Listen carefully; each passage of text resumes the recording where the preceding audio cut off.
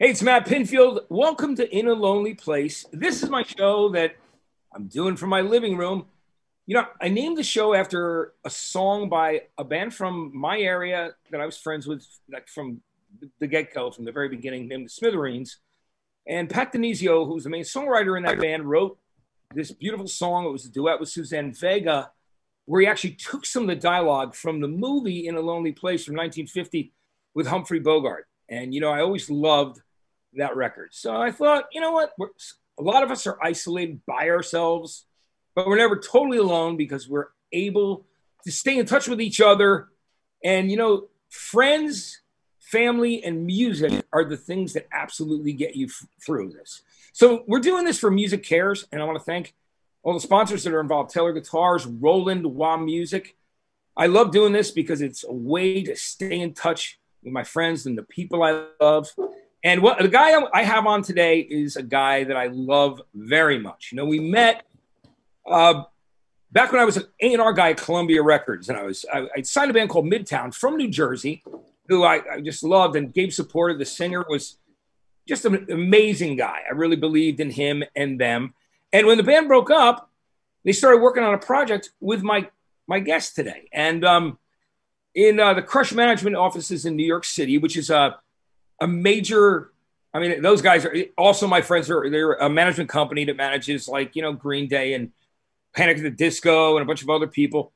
Sam and I met and we bonded over Sly and the Family Stone, and that was like the thing. We talked about that and Stevie Wonder, and uh, and you know I'll never forget it. So my guest is an award-winning songwriter, producer, and an incredible human being that I love very much. Sam Hollander. Sam, what's up, man? How are you? Hey, hey, hey, what's up, my brother? How are you, man? You know, I'm good, man. I'm hanging in there. You know, like for guys like me, isolation is a really difficult issue. Yeah. Um, you just have to fight through it, man. You know, like because I love to be out at seeing shows. Uh, you know, I, I just love to be in, in major contact with people. So it's super important. And it is music and love for my family and friends that is getting me through these times, you know?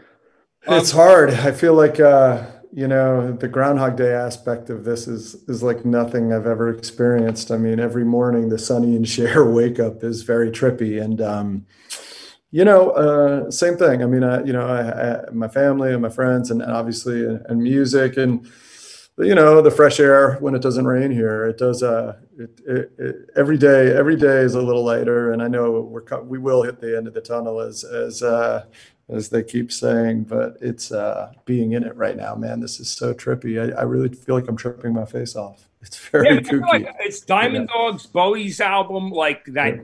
Doom and 1984 and Cyberpunk, William Gibson, Philip K. Dick. It's, like, yeah. it's all of it in a bowl of gumbo. And the reality is, man, I'm like, at the end of the day, I, you know, I've turned the TV off. I won't watch anything that, um, you know that, that, just yeah. that, yeah just everybody's got you know man like you know everybody i think that the media is run you know it's just everybody's on steroids with sort of fear right now and unfortunately selling fear, fear is a problem you know? Yeah you know and fear is um fear is the you know the opposite of faith you know? And we have right. to literally work through this entire thing and keep ourselves together for for those we love. You know speaking of which sam last time i saw you in person we were with Adam Schlesinger, and you'd invited me to a showcase. You know, I always loved Adam. We, we would hang out at WXOU Radio, that bar, you know, uh, with my my ex wife Yvette. Um, you know, when she was my girlfriend, and I'd meet him and Chris over there, and we play the jukebox, and you know, and, and what an incredible guy. And and literally, it was just a beautiful moment when the three of us were together again. And they were hanging out. So I, I mean, I know how close you were to him, man. I mean, how are you doing with that?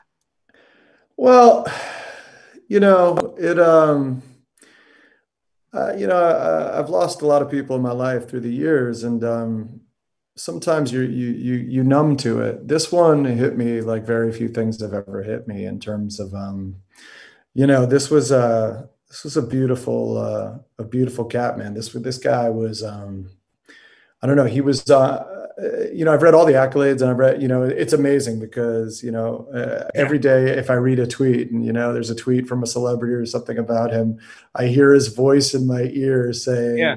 that guy didn't like me. That guy never called me again. You know, I yeah. missed the snark, man. It's like this was like this guy. this guy was, uh, man. He was like so. He was just whip smart and funny oh, and yeah. loyal and decent and just like, yeah. you know, man. He was a magnet. He was a guy you wanted to hang with, and you know, we both. um I guess we both sort of identified something uh, in each of us that we were drawn to many many years ago and we we just began this friendship and you know what i loved about adam is i got pulled into adam's world and um, it was full of all this cast of characters that you know his friends from birth all the way to sort of you know new friends he'd made along the way and you know i made i, I made so many peripheral uh, relationships through it where I just, I, you know, I connected with people who I just, everyone was interesting. You know what I mean? Like you always, every night was sort of an adventure with Adam where you just suddenly, you're seated with like four people you've never met and they're all doing really neat things. And, you know, it was, uh, it was really a beautiful, a really, uh, both a beautiful friendship for me and one of the most special friendships I've ever had, but also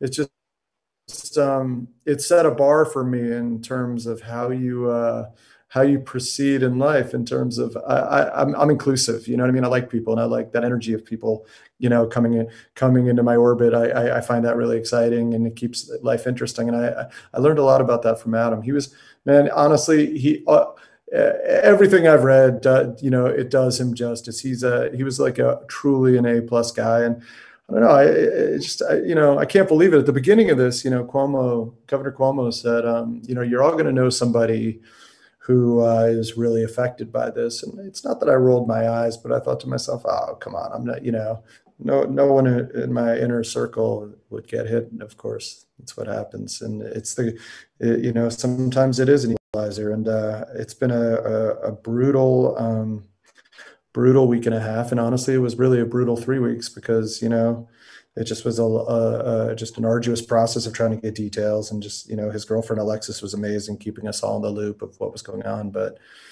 you know it's tough man every day is a little trickier so we're we, you know we, we, we got to keep going it's a true test of uh you know like literally the resolve and you know and the will to keep carrying on man you know and he was a, a i loved him he was he was a great guy man it was and thank you for getting us back together at that period of time. And that was a, a great night, man, you know? And I got I to just, your studio, which was great, you know? So yeah. Was, yeah, man. I mean, look, and that's what that, but that's the spirit of Adam, right? It's just yeah. like reunite people, connect people.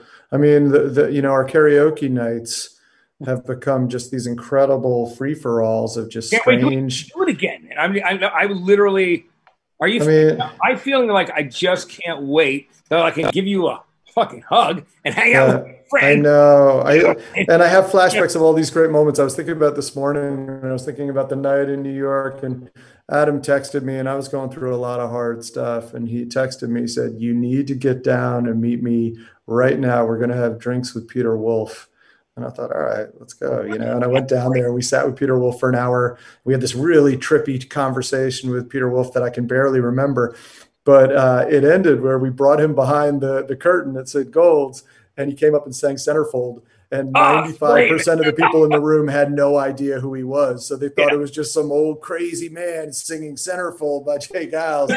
but it was Peter Wolf slaying it. And I'm not joking. So the night takes on this crazy turn where, you know, people keep showing up and, you know, it's just a random Monday. And then Bill Murray walks through the door and it just you know gets up there and it was just like it was perfect. It was like every day with adam was sort of it was Fellini-esque with like really Satyricon, you know like- yeah 100% so you know I, I, I really um i'm gonna miss him. So yeah, yeah, yeah, we will. And you know it's um you know Hal Willner was working on that T-Rex tribute album. We lost Hal, you know. You know, I didn't know Hal personally, but once again, you know, you just read, uh, you, you know, you you read the tributes and they're stunning. And the people, uh, you know, a lot of people who are very close to me um, said he was one of the sweetest guys alive. I knew Neil Lasher pretty well. Neil Lasher was a great guy. He was my sponsor, you know, for yeah, a long time. Great, great guy. Did amazing yeah. things for people, and you know, he was on my publisher for years. And you know, it's just this whole thing's been just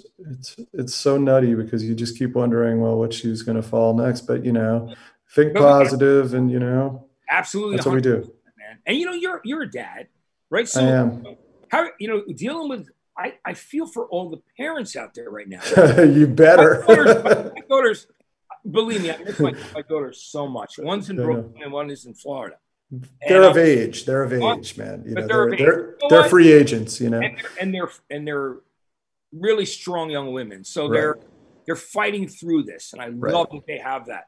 But it's but as a as a parent of some of a, of a young child, how's that? Like it's getting through. That. I got to tell you, you know, the early in the process, you know, I think um, I you know I did a lot of reading, and they said, you know. Um, keep everything focused and keep them on a, some semblance of a schedule and don't let it devolve into anarchy. So of course i chose anarchy. And uh, so i thought well you know i have to make it through. Initially i was like yeah, a month and a half. So what could i do? So i introduced her to dawson's creek because there are 126 episodes. So you parcel those out over time and right. buys a little bit of time. But you know what's funny about it uh, you know what's interesting about this is you know my kid being home and sort of binging things and doing these strange projects um, in some way i'm seeing a light turned on in her that i haven't seen in a couple of years in terms of you know there's like interests that are really beginning to manifest. And i think it part of it is the the, there's just so much downtime and boredom that they're forced into creative situations. They can't just vegetate. At some point, you actually have to think creatively. And um, I, I, have been honestly, I'm in awe of all the cool things she's like really talking about, things that are beginning to interest her. It's been, it's been, uh, it's been the one sort of, um, you know, olive branch at the end of this, you know. Yeah, you know, it's funny you mentioned that Dawson's Creek because I was talking about the Joe Strummer documentary, "The Future Is Unwritten." Mm-hmm. with somebody yesterday, and I said, I remember when I went to see it on a rainy afternoon in New York City at the IFC Theater. Speaking of Dawson's Creek, the only two people in the theater were me and Michelle Williams. The only two people amazing. watching it. Amazing, amazing. So I was gonna. I was going to say I don't have a, I don't have a lot of Dawson's for you. I mean, I did a lemonade stand with Busy but, uh, Phillips. That was big. I did some lemonade with Busy Phillips in the hood here. But yeah. the one thing I would say is you know, I'd moved to LA and it's probably like 2012 or 13. And I'm, I walk into Soho House one night for dinner and Dawson's sitting in the corner, James Van Der Beek, and he's like working on a script in the corner. And I was like, wow, I really am in LA. This is trippy. Like we've just broken every kind of strange fourth wall thing here. This is yeah. nutty.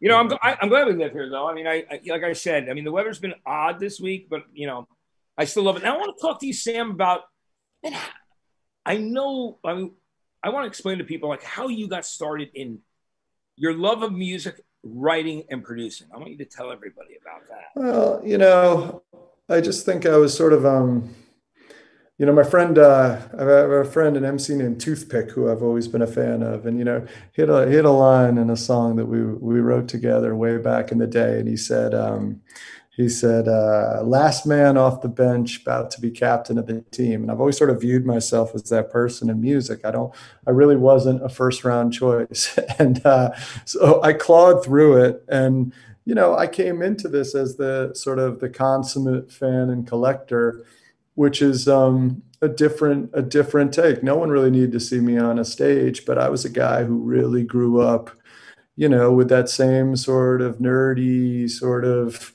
you know, fandom that I know you appreciate and McGrath appreciates and Lyndsey Parker. There's like a lot of us out there who are just like, yeah, you know, the mega nerds of music, JD, you know, like we all, love we all, we love we, all, right? Yeah. You know, yeah. Because we, it's a, it's a tribe and, you know, yeah. and, and when you meet one, you suddenly sort of indoctrinate them into your thing, you know, John Hughes at Rhino. I don't know if you know John, but God, man. Yeah. What a great guy he is too. Yeah. You know, and it, we're, I mean, we just we live and breathe it, you know. Yeah, and that's right. And so I was one of those guys, but the you know I just I I wanted to emulate it, but I also because I was um, I was a collector.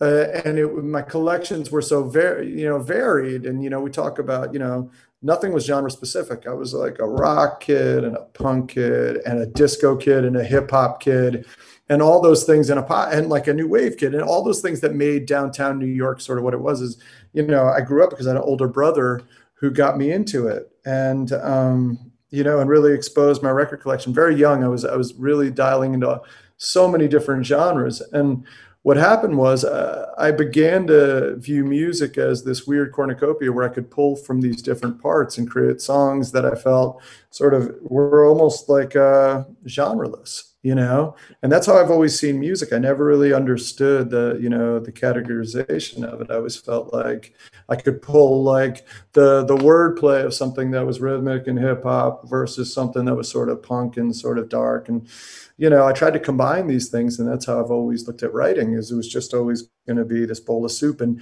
that's how i found my place because i think my influences were just wide enough that it, it gave me my own voice that you know began to raise its hand yeah, which is amazing, you know, and I, and I love that.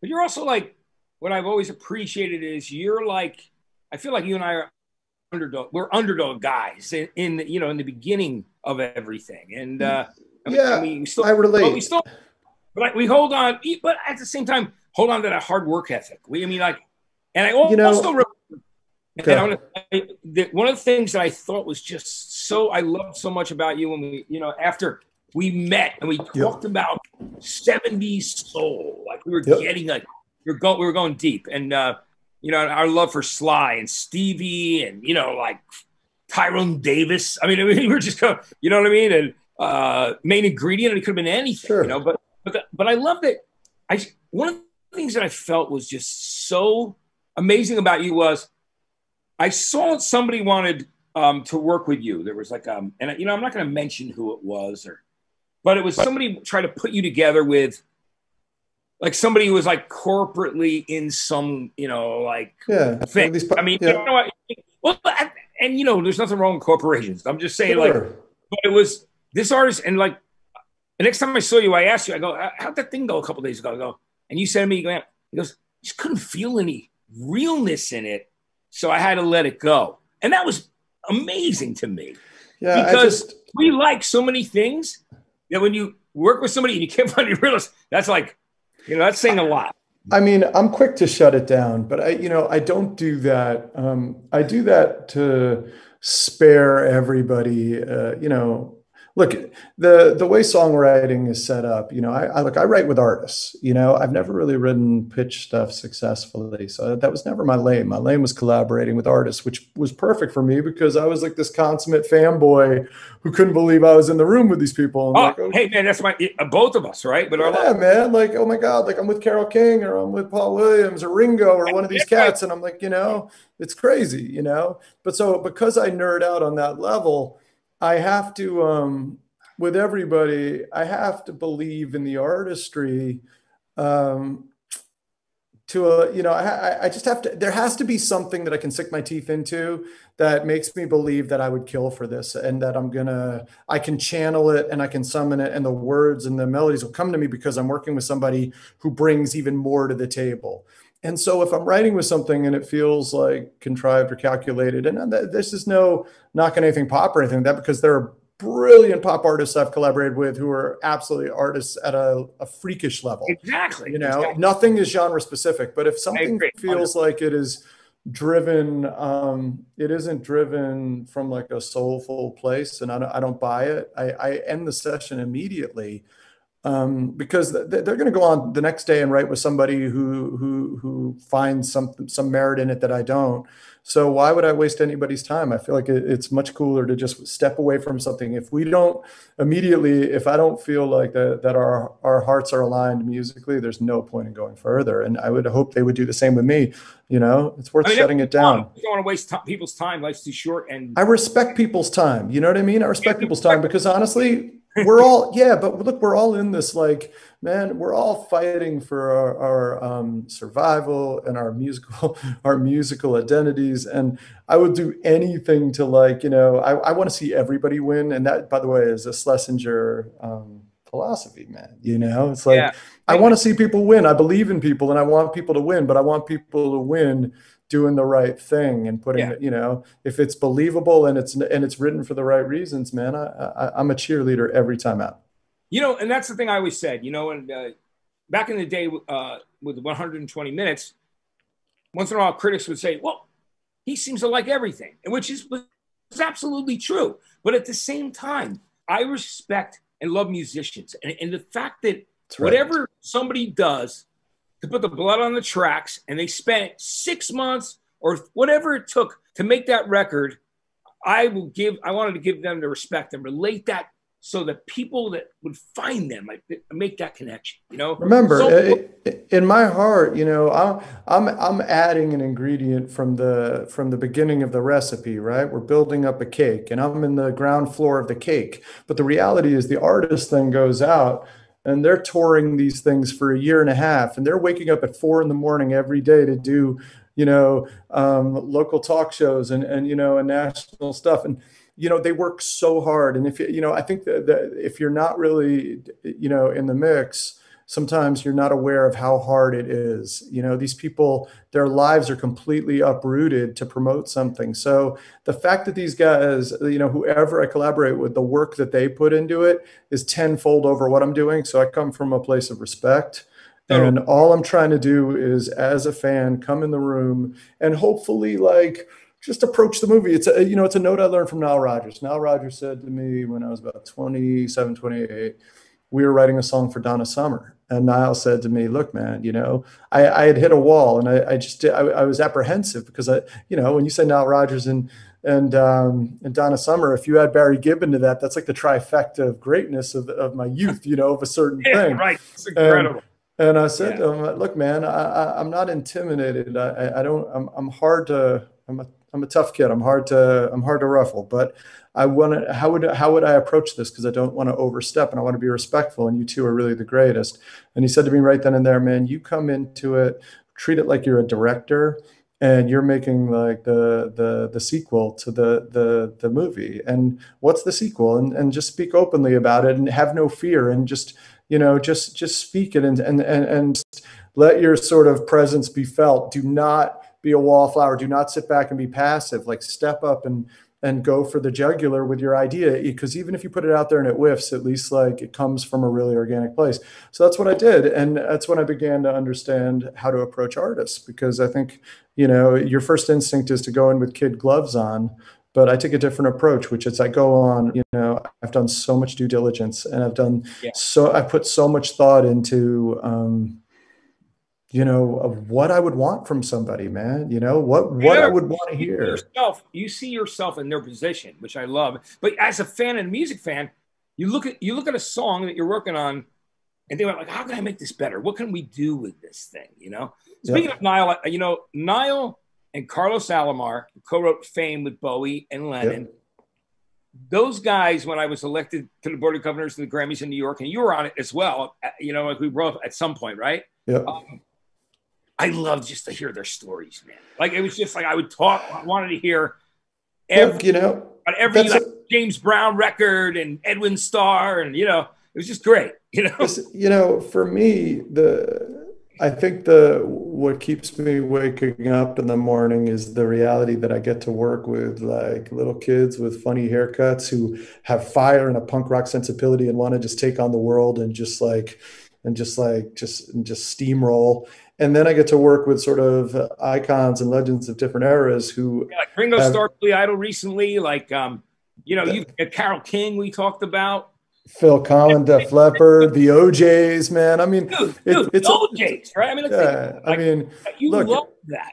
The fact, the the thing that like you know, creatively, what what gets me up in the morning, like if I have one of those days with one of these cats, and I really bring it, and they send me a note afterwards that just like that they were psyched and that they were impressed. You know man that's what that's four years of education for me. It's like i'm trying to learn from the best and that's why i want to be the i want to I, I want to make music that actually mattered and resonated but i also want to work with people who teach me constantly. So i just keep learning because it uh it it, it evolves. I, I, try to stay up on everything that's happening now of the second. So I'll listen to things that work on TikTok because I'm trying to understand what kids listen to and why they listen to it. And at the same time, I you know I want to work with the greats and learn the narratives and learn about you know uh, you know Ringo and Harry Nilsson and um, you know, and uh, Keith Moon driving down from the mansion on me just Boulevard. Say, I really wish I had met Keith Moon. Oh. Glad I'm, I know Ringo and Harry Nilsson's son, but man, Hal Willner, who he just lost, like I said, he had amazing Harry Nilsson stories too, you know? Anyway, I want to just say, I'm so proud of you, Sam. Like, thanks, buddy. I mean, I know it's been an incredible year this past year for you, you know, winning the awards for High Hopes, Panic at the Disco. You've written songs for so many people, with so many people. and for so many people with Fitz and the Tantrums. I mean, the list can go on and on. But right now, we're going to talk about seven of your favorite albums. Fun. Because the thing that we met about is not one of them is on this list. But I'm going to start with the band from the place that I was born, Athens, Georgia, REM Life's Rich Pageant. Let's yeah. talk about that. You know, I um as a kid, I, I, I made the nat- natural progressions, right? They were logical progressions. I went disco. I went into classic rock after disco because of my age, because I was a little too young to get it the first time. But I did. Uh, I, I went uh, truly. I went Bee Gees into the Who, the Who into REM. These were the three. Ba- the, the you know when I'm talking about like the the the the yeah. band that you know, and REM was my first real favorite band. And it began with um, it began with Murmur and Chronic Town, you know, and it, it uh, as we went into Reckoning, I saw them live on on that tour, and that was the first time I saw them. And then Fables, and I love Fables because I really love the horn play, uh, you know, on uh, Can't Get There From There, and I love Driver 8 and blah, blah, blah. But then they dropped Life's Rich Pageant, man. And Life's Rich Pageant for me, it's Don Gehman, right? It's Don Gehman made that record. And what I, yeah. the thing about that record was, you know, as a kid, I just remember there was, it was so punky in its spirit, and yet so brilliantly melodic. And it's when I began to understand the, the genius of Mike Mills's counter melodies against Stipe. And just, you know, I, I have a memory. I can, uh, you know, I can, I can suddenly close my eyes and I'm at, um, I'm at uh, Felt Forum and I'm seeing them on that tour. And, um, they, uh, they close, I believe, with Superman and they brought, uh, oh, what was this cat's name? The dude, uh, the guy from the Clique. They brought out uh, uh, Gary Gary Zekley. They brought up Gary Zekley on stage, who had written the song, and wow. he he wrote sooner or later for the Grassroots, right? And uh, yeah, you know, and I knew his daughter very well, and uh, yeah, man, you know, she, uh, she lost him. It, it, was a kind of a weird thing. Like I, I don't want I don't want to bring the mood down, but I think I think murdered or something really weird happened. But he was a great songwriter. It's a great songwriter. sweetheart, and her and I would talk a lot. That's anyway, crazy. I didn't know that. Yeah. So and they they brought him out to sing Superman in the encore with him. But that whole record, it starts out at the beginning with begin to begin. You know, it, I uh, believe even like, but and Fall on Me is just Fall on Me is perfect. Great. I you love Fall on like, Me. Fall on Me, but my favorite song on that record is actually Hyena because hyena you know i tend to like records that start to push those tempos of like 150 160 bpm where like the pulse rate is just yeah. getting psychotic you know? And yeah. i used to just scream hyena. I used to, i remember just like playing air guitar to that song thinking man this is just the coolest thing ever. Uh, uh, that record just i don't know. That was so transformative for me. And you know and i was a snotty little kid right? So i was a little punk kid. So that you know it's right around the time uh, is that the last irs record that's the last one before they jumped to Warner uh, Brothers. Is that right? Um, no, document was the last IRS record, document. Right? Okay, so so doc, yeah, so and then of course I, so it's funny because I know Scott Litt pretty well, and I, I, love Scott Litt. He's a really good guy. But you know, when we sit at dinners, I'm always thinking, man, you know, you're late era, man. You you you know, I like the Gehman, you know, the yeah. Don Dixon stuff. Like yeah, Don, hey, Don Dixon, yeah, Don Dixon yeah. was like, yeah, he was a great producer, right? Those guys were and, just and so cool, man. Those guys like the dudes from Let's Active, and yep. you know, Mitch, um, Mitch, Easter, man, Mitch Easter. Mitch Easter was man, that guy was great too. You know, and I think I he might be a Facebook friend of mine, but I don't know if it's a real Facebook friend. Like it's one of these things where oh, I yeah. swear if there's. You ever know Facebook friends? Here's the funniest. I'm gonna make. I'm gonna say this very quickly Go. because I, I want to know your records. I want to talk about. this guy was like trying to say to me that he was Dean DeLeo and when from Stone Temple Pilots. Who doesn't realize that I've known Dean, you know, like, you know, forever. And then he drove up in a delivery truck when he was still working, but Core was recorded and he brought it to me in that little house in New Jersey in Asbury Park to play wow. on the radio. And, wow. and so he goes, Yeah, man, thank you for supporting us. I'm like, Really? If you're Dean, tell me what happened in your house that night in California with the garage door and the T Rex thing, and totally full of shit. You know, just, just uh, I don't know. I never I, know I guess, who's real. Yeah, it's all. Yeah, yeah it's Can't trust shit. these crazy kids. Yeah, right. But but anyway, you know, um, when we go to the next record, which is just such a great one, Tribe Called Quest. Let's talk yeah. about this is this is my you know it's funny because today is the 30th anniversary of this record. It's the 30th anniversary. What is today? Today is it's the 30th yeah, anniversary of uh, People's Instinctive Travels, and it's also Q-Tip's birthday. And you know this is my favorite album I've ever owned. This is my number one favorite album, and the reason I say that is you know, I was um, I was 17 when De La Soul came out, and you know, I thought that was just when I heard De La Soul, I thought, okay, this is this is I mean, fucking amazing. Yeah, when they started dropping those singles, and they dropped Jennifer, she taught me, and they dropped uh, me, myself, and I back to back. I, I know pot, potholes in my lawn, potholes in my lawn, and. Yeah that when I heard like Say No Go and they had a Hall and Oates sample and they had the Turtle samples and they had all this. And, and, know, and Steely Dan, who we were talking about when we before yep. we got on here, because I, I, posted, I love any major dude. We were talking yep. about that. Yeah, and they had Steely Dan samples exactly. I mean, all of it and and, and P Funk and everything else, and it was all the way they did it was it was the first time I'd ever. I didn't even know these guys but I felt like they had a window into my soul because my soul was this weird mix of stuff and genres and cross genre bending and stuff. And they were all doing it and they were doing it sampling. Prince paul was doing it. And um, you know q-tip featured on the record and he featured on the jungle brothers record. And then they dropped the tribe called they first they, they dropped bonita Applebum. they actually i think they dropped public enemy maybe first and then and, girl, um, and then uh, go go ahead yeah, yeah, and then go. Yeah, exactly. It's amazing. And, and go ahead in the rain. Play that record all, the, like clubs all the time. Oh, it's the greatest. But Tribe Called Quest, man, when that album came out, I stood on a tower. I bought it that night and I went home and I put it on.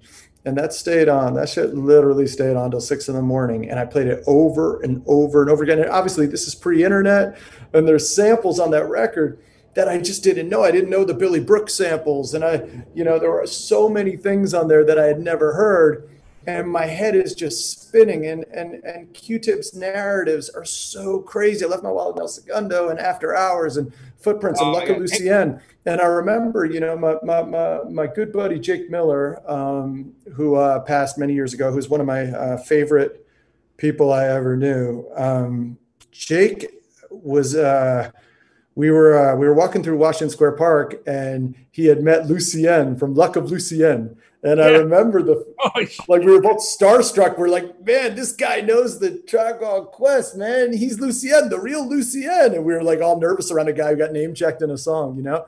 And uh, for me, that record, everything about that record says, you know, New York, 18 years old, chasing a dream. And, you know, my, my buddy Tyler Rowe posted something today. He remembered the moment when we were, I guess, 18 or 19, we're walking uh, past Phoebe's bar, right, or by the Bowery Bar, you know. Yeah, yeah, and exactly. Yeah. And Q-Tip's riding in a town car, and he's sitting in the front seat with the driver, and we're both gawking at him. And he just waves at me, gives me a peace sign. And it was one of those moments I thought, man, I'm going to see this guy again. And then fast forward years down the line, Ron Perry connects me to write with Q-Tip. He said, "You're a big Tribe fan. You want to write with Q-Tip?" I said, "Fuck yeah!" Pairs me with this guy. We wrote together, and then I get a text from um, I get a text from his assistant, and she's like, "Hey," she said, "Q-Tip wants you to uh, wants you to come. He's spinning at the Ace Hotel in the basement tonight. You should come over." And I showed up with my buddy Travis Clark from the band We the Kings. And we showed up and we get ushered over to a special section like that's roped off. And I'm thinking, all right, this, this is kind of weird. And out of nowhere, Q-Tip walks over with a tray of shots for us. And me and Q-Tip and Travis Clark from We the Kings are doing shots. And I'm like, what is my life, man? This is the craziest thing ever.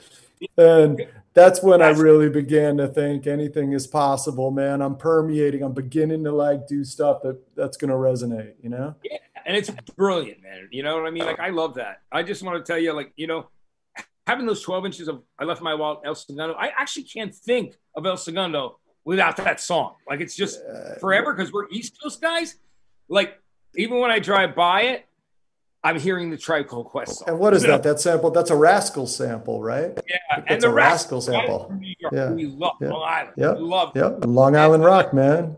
It's good. Yeah, man. And you know, also, you know, we think about like Lou Reed and using that incredible bass line on Can I Kick It" It is just, you know, you can't It's the most incredible thing ever. And then there was a, it was, I want to say a Cut Father and Soul Shocker, one of those cats did the remix on that, which I believe used a maybe a Coltrane horn, yeah. equally as fresh. Oh, I mean, Coltrane horn was incredible. Yeah, yeah, yeah, yeah. The sophistication on this stuff yeah. was just it was just so beyond me, and it gave me something aspirational.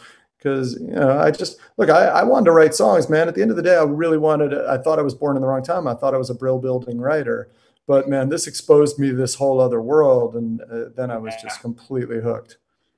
You know, it's funny. I I have a story about smoking a joint with Neil Diamond and the guy Leon. That's pretty amazing, which is funny. In in Dublin, Ireland, me, Nathan, Caleb, and fucking Neil Diamond, and Neil's assistant Susan came up to me like, and she's standing there. She goes, "Hey, um, Matt, Neil would like to see you outside on the on the patio."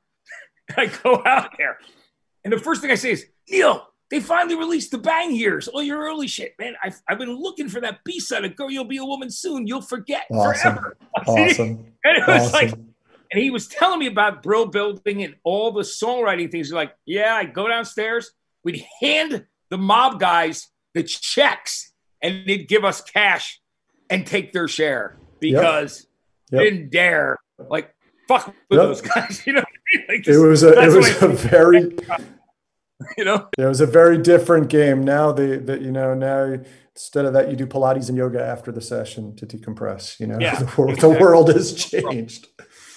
Now stevie wonder you and i have always loved so much and this next record is the time when robert uh, margouleff who i became friends with out here and really? gave, yeah wow. and I, he gave me a ride home from from my friend jeff's house one night that's incredible. And we talked about all the synth treatments he did on that incredible run of Stevie Wonder albums and the Isley Brothers. Who's that? That lady, part one and two. You know, mm-hmm, mm-hmm. um, and he's what a lovely dude he is, man. You know, and he's just like that guy Look, was so revolutionary, right? All those Stevie records. I mean, you know, I've always there have been so many moments when I thought about putting Stevie Wonder's head, the album cover, getting that tattoo on my arm because that record emotionally hits every single sweet spot for me.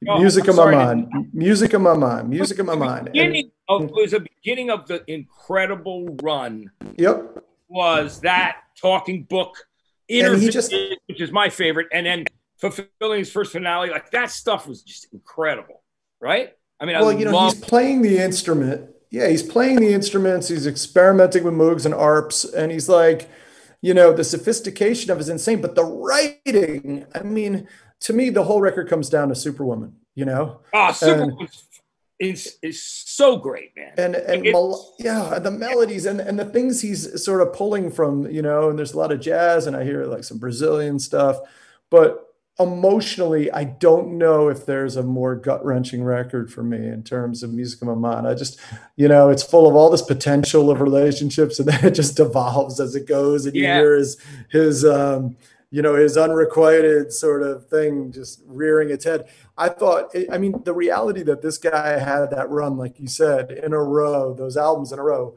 Uh, I, there's no artist. I mean, uh, to me, it's up there. The Beatles and Stevie sit on the strange pedestal yeah. of like the greatest short term runs I ever saw.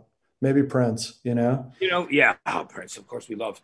Yeah, yeah. you know I have a story. We're gonna we're gonna talk about Jamiroquai in a minute, but I'm gonna just say this very quickly related to Stevie. One of my favorite memories is sitting on the floor at RFK Stadium in the hallway with Jamiroquai. He and I singing Golden Lady and oh doing God. like oh he and I are sitting there Wow. And the biggest smiles on our face. It was the coolest fucking thing ever. It was so much fun. We're moving on to the band that actually really kind of united you and I we love so much. Sly and the Family Stone. There's a riot going on. What an incredible record, man. I mean, what, they're one of my favorite bands of all time. So let's talk about. It. I mean, you know, this is that rare moment where whatever drugs this dude was taking worked. Yeah you know he he, he had, yeah it's just like you know the that record to me is so punk rock sonically it is so explosive. The fact is, you could put that record on today and it stands up against anything on the radio. It's the choice of the drum machines are so sophisticated. And, you know, Sly, I mean, just, just the guests on it, everything about it, like it, it just, I, I've never really heard a record like it, you know, and he's cutting running it in, away. Uh, by the way, I wore this for you. I wore this for you. I'm wearing my Sausalito shirt because you know, Sausalito summer night. Well, he yes, because he cut the record at the record plant in Sausalito, yeah. you know, and yeah, right. he's lying on his bed cutting these vocals, and he's working the Rhythm King for the drum machine, yeah. and he has Billy Preston, and he has Ike Turner, he has guests, but he doesn't want anyone around. and the bulk of it, it's just the the rhythms of the way how he blew out that drum machine it is so primal and crazy. I've never heard music like it. But then you have Family Affair and you have Running Away and you have, you know, yeah. you know, You Caught Me Smiling, which is my favorite, which has the greatest little yeah. sort of horn you caught melody. Me smiling. What's so cool when you listen to that, there's something about the distortion, like when his voice goes up, that's like you said, very primal. That record is just even running away has this incredibly almost like weird sound and feel to it, but lyrically, and everything about it with Rose singing that. Oh. You know, funny. Why is it?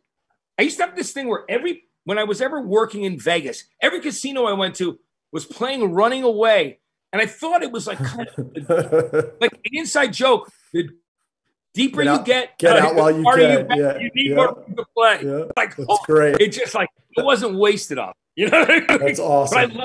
I love, that record. You're right. It has so much. It's just so different sounding for nothing time. sounds like it, you know. And I've heard people cop it, and nobody can get it right in terms of it. Just I, I don't know how to explain the low end on that record, but it is so explosive.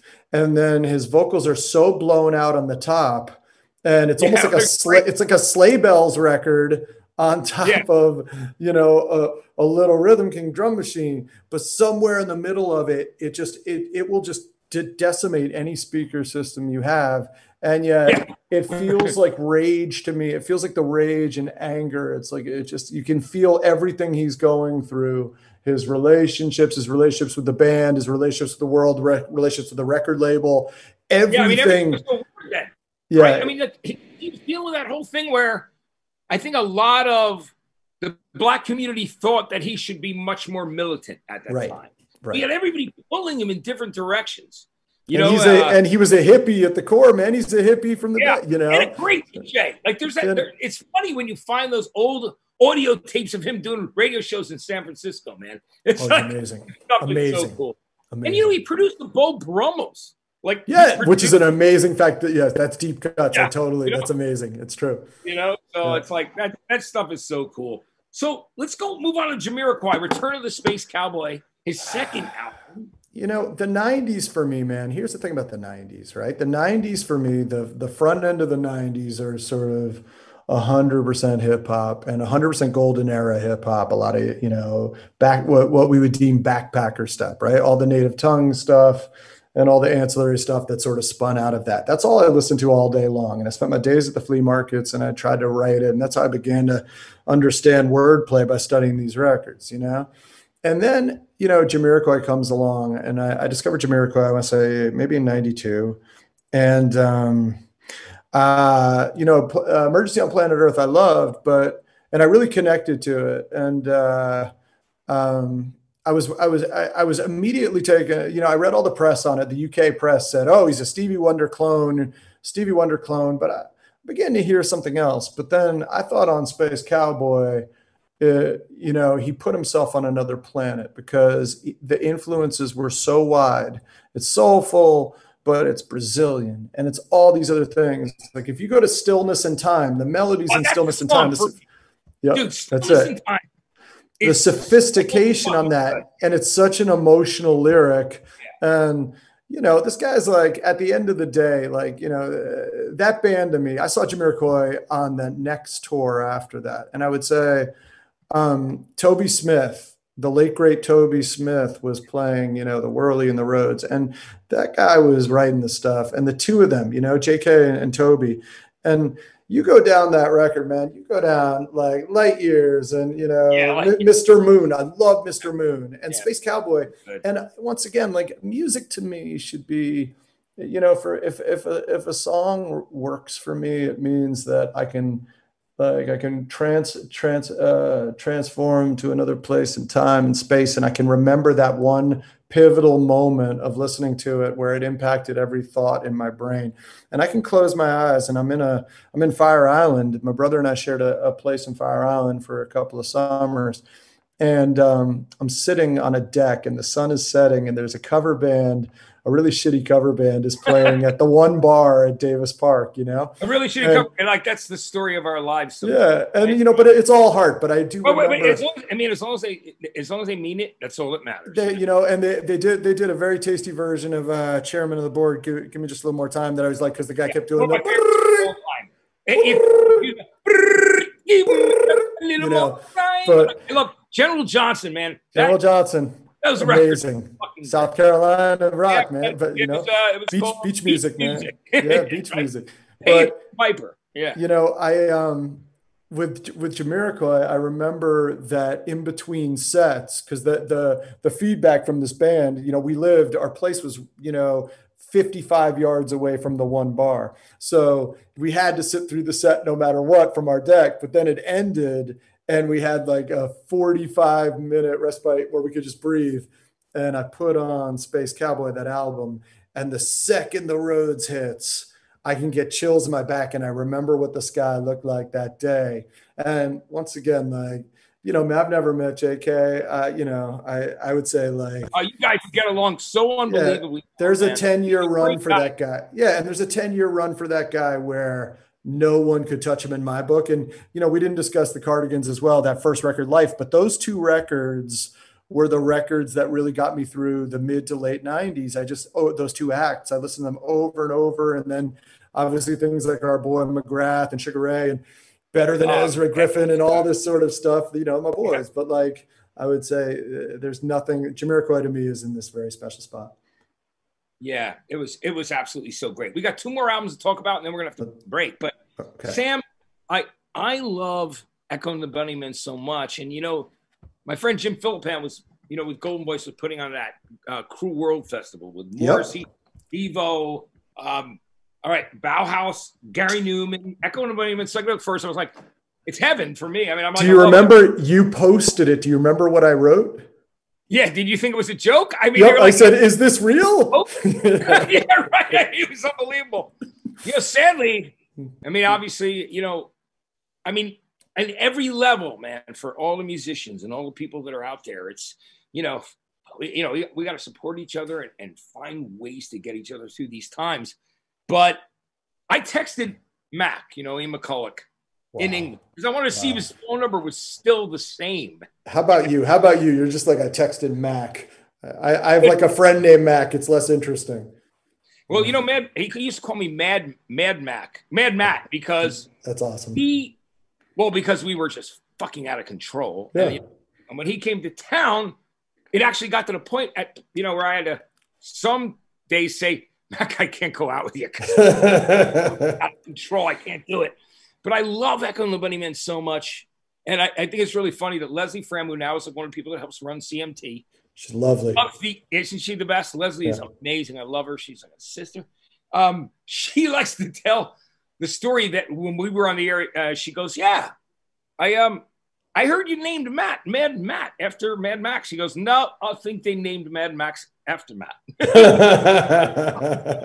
We were, we were can- you know, but i love those records so much like you know and songs to learn and sing is such a great compilation that single it's you know it the thing about echo and the bunnymen is as 80s sort of when 80s nostalgia lived on right? That you know there were certain bands that got pushed to the forefront and i think certain bands began to i wouldn't want to say get forgotten but i mean like the cure went to another stratosphere right you know Yes. so my, my kid knows the cure intimately and i think that stuff is incredible i'm a huge cure guy but Echo and the Bunnymen for me were the coolest of the cool. It was like it was this weird post-punk thing, and it was dreamy. It was like dreamy Yeah. post-punk, and you know, I uh, I look at the that track listing and I can go down that thing and they hit a couple things incredibly, right? You have these incredible.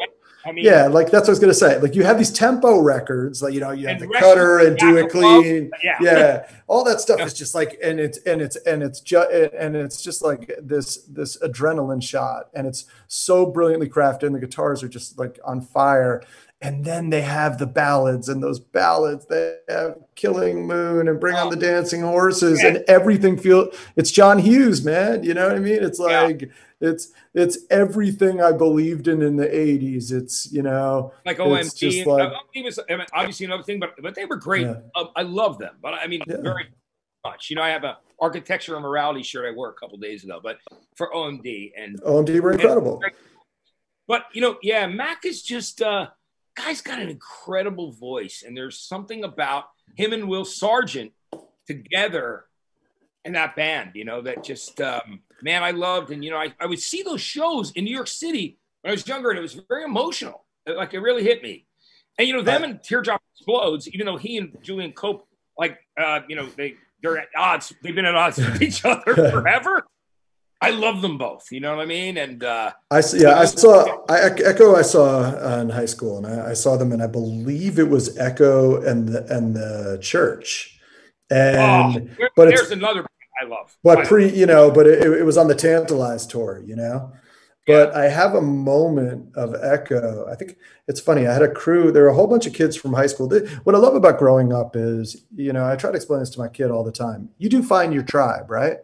And yeah, you do for me, the tribe were the kids who took the Metro North to the city to go see shows on Friday nights, you know? And yeah. I have visions of it like going to a show with a couple of my friends, and there were some older kids there. You know, I have a friend named Jason Tannenbaum, and I remember this guy was there with there were, but and he was there with a bunch of girls who were a couple grades above me, and um, and you know we were all standing next to each other and at one point the entire crowd is lifted up in the air just from the the surge. And we all get pushed 10 feet back and then 10 feet forward. I never experienced that man. And i um this is sort of like the predecessor of of moshing at popular shows you know? But we just yeah. got absolutely lifted into the air. And i remember thinking man this is like this is what I want to do with my life. I want to write these songs that that do that thing that sort of propel people to sort of uh, you know get emotion and just sort of drift and be sort of taken by them. Yeah, isn't that the, the beautiful thing? So like they're they're rushing me off, and it's kind of you know what I, you know I'd, I'd rush me off too. I feel like I'm sort of like an hour and 40 guy. What, what's up? I love you, man. We, you and I can talk for hours. But I, the last album you picked is a guy that, man, I became such good friends with Bob Mould and even Grant Hart. Like, you know, we went through a lot of things. You know what I mean? We yeah. talked about a lot. And, and Bob helped me through some tough times for me to see, you know, how to like deal with some of some of the issues we have in our life. And I and I love him so much. He was very kind to me and wrote nice things about me in his book. And I hosted that thing at the Walt Disney Music Hall. He and Dave Grohl flew me into uh which is incredible. Do you know? So do you know? I I missed it. I was in New York. I watched it on cable, and I came out of it thinking, God, Grohl Grohl with Husker Du is the coolest thing Dude, I've ever heard. A Rising, yep. it was like fucking yep. thunder yep. on stage. I, I had I've always respected Grohl, you know, for obvious reasons, but my my appreciation of Grohl from watching that show went to another stratosphere. You know, I've never met Bob, right? I've never met Bob. Oh, man, I, have seen him live a bunch. I, you would oh, love I mean, He's the, one of the nicest beings, man. He's one of my favorite writers ever. You know, he he impacted my writing. You know, if if I could say the two things that impacted my writing at 18 were Bob Mould and Q-Tip, right? Yeah. It was it was the rhythms of one and the narratives of the other, and, and, sort of the the unrequited stuff and the the you know there. It's funny because I I look at those Husker Du records and Grant Hart's an incredible writer, but like the Mould stuff. Yeah, you know, yeah, the, I mean, Grant has great songs too you know, I mean, it's a different thing. It's a different thing. Yeah, Bob stuff. You again and things like that. You know.